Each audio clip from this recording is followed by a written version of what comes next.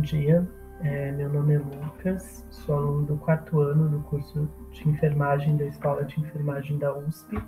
Bem-vindos ao stand da Feira USP As Profissões. É, eu vou falar um pouquinho com vocês hoje a respeito da, da pesquisa no contexto da graduação em enfermagem. Então, como que os alunos de, de graduação em enfermagem na escola fazem as suas pesquisas junto a, aos docentes e especialistas. Então, eu vou compartilhar uma tela com vocês e vou ir contando um pouquinho também da minha experiência.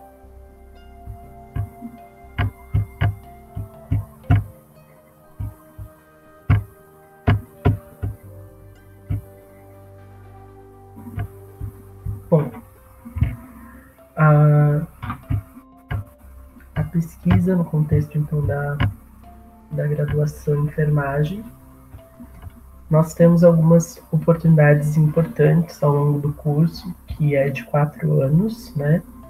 É, dentre essas oportunidades, a gente tem que o aluno ele está tá envolvido em iniciações científicas, existe a possibilidade de participação em grupos de pesquisa. É, eu vou falar um pouquinho também a respeito das bolsas de incentivo que estão vinculadas à pesquisa né, na, na graduação, participação em eventos científicos, divulgação científica também. E quais são as é, oportunidades principais né, que também eu gostaria de destacar. É a oportunidade de desenvolvimento da ciência da enfermagem e também da, de campos e laboratórios ricos no sentido de experiências para pesquisa, além do fato de que na escola de enfermagem é, os docentes são todos pesquisadores com bastante expertise na, na sua área do conhecimento e também é, experiência acadêmica, além, é claro, da oportunidade de internacionalização que a gente também tem é, durante todo esse processo, por meio de intercâmbio de pesquisa. Bom, o programa de iniciação científica e iniciação em desenvolvimento tecnológico, ele existe desde 1983 é, e coloca os alunos os estudantes né, da, da Universidade de São Paulo é, em contato com grupos e com linhas de pesquisa e proporciona aos seus alunos a aprendizagem de técnicas e métodos científicos.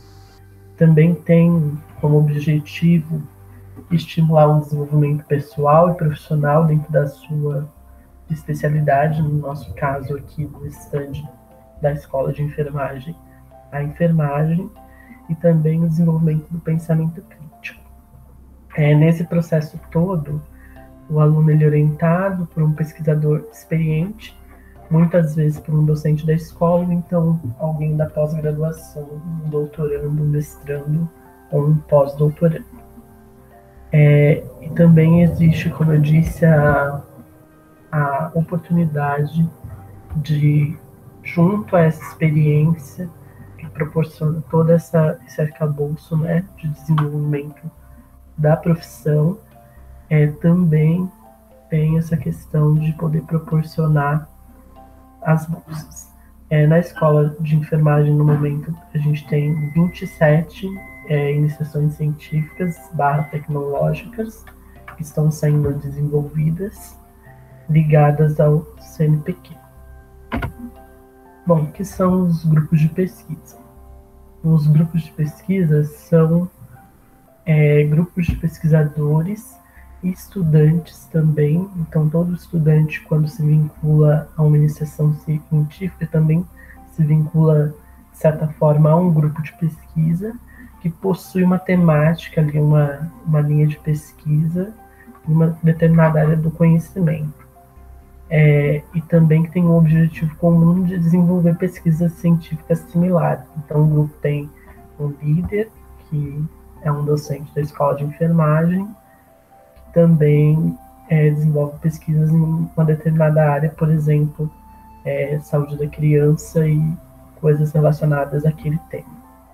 Bom, e qual é o envolvimento de um grupo de pesquisa? Além das atividades de pesquisa e produção científica, as pessoas ali envolvidas trabalham com temas, linhas de pesquisa comuns entre si e também há um compartilhamento mínimo ali das instalações e dos equipamentos é, que são utilizados por quem os compõe.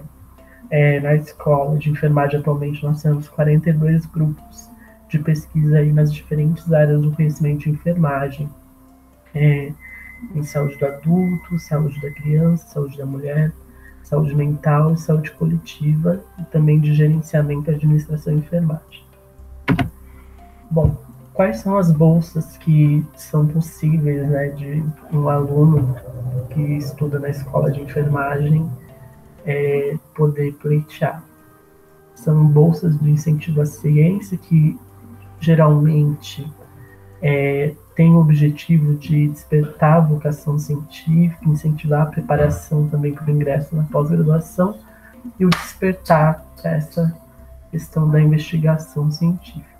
As bolsas costumam ter vigência aí de um ano, né, 12 meses, e elas são vinculadas à entidade de fomento da pesquisa. Então, Existem bolsas ligadas ao Conselho Nacional de Pesquisa e Desenvolvimento Científico e Tecnológico, que é o CNPq. Também dá para pleitear bolsas pela FAPESP, que é a Fundação de Amparo à Pesquisa do Estado de São Paulo, e também é, bolsas internas pelo Programa Unificado de Bolsas de Estudos para Estudantes de Graduação da USP, o PUB. É, a bolsa CNPq vocês vão conhecer aí como PIBIC. Bom, também, né, dentre as possibilidades que o contato com a pesquisa na graduação proporciona, está aí os eventos científicos, né, a possibilidade de participação em eventos científicos. Os eventos acadêmicos e científicos são iniciativas, então, da Escola de Enfermagem, de outras unidades da USP, e são principalmente, aqui eu trouxe dois exemplos, né, os congressos, são reuniões que a gente é, apresenta, que estão ligadas a um determinado assunto, e os simpósios, que são é, essa iniciativa, nesse caso que a gente traz aqui, inicia, é, relacionadas à, à divulgação científica ligada a assuntos específicos. Então, é, também a possibilidade de debater. Eu trouxe aqui o template do 28º Simpósio Internacional de Iniciação Científica da USP, que é um evento que, inclusive, está para acontecer, no qual os estudantes que fazem as pesquisas, é, as iniciações científicas, têm a oportunidade, então, de é, estar compartilhando seus divulgando seus resultados e também debatendo os assuntos que foram pesquisados aí durante esses 12 meses trabalhando.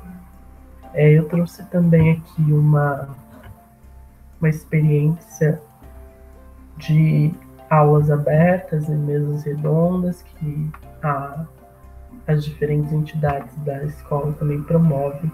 E aqui eu trouxe para vocês é, uma em particular, que foi sobre experiência de cuidados paliativos pediátricos em oncologia.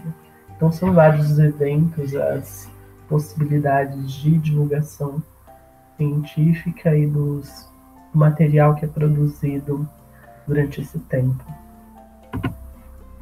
Bom, além disso, né, é, proporciona aos alunos que estão envolvidos também essa questão de divulgar a ciência, de é, popularizá-la e também atividade de difusão de conhecimento. Então, participação em, é, em programas de televisão por parte de alguns docentes para divulgar, conversas com as pessoas na comunidade que trazem e aproximam os diferentes contextos, desenvolvimento de jogos, por exemplo, para as crianças e que tem a ver com a iniciação tecnológica, é, divulgação em mídia, no jornalismo científico e de diversas formas aí nos meios de comunicação.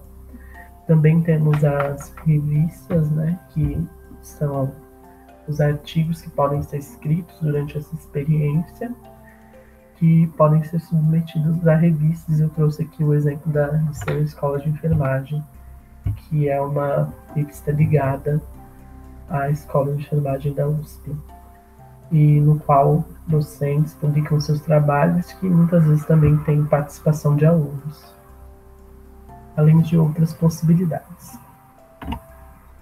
Bom, era isso que eu queria mostrar para vocês.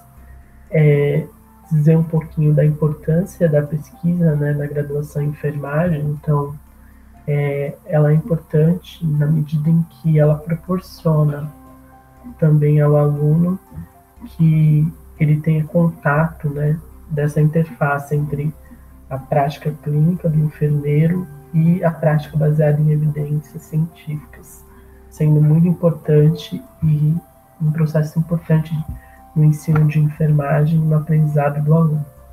Bom, é isso. Espero que vocês tenham, estejam tendo um ótimo dia de atividades aqui na, na Feira USP Profissões. E eu convido vocês também a retornarem no final do dia. A gente vai estar ao vivo para esclarecer dúvidas a respeito do, do processo de como se dá o curso de enfermagem aqui na USP. É, um abraço e até mais.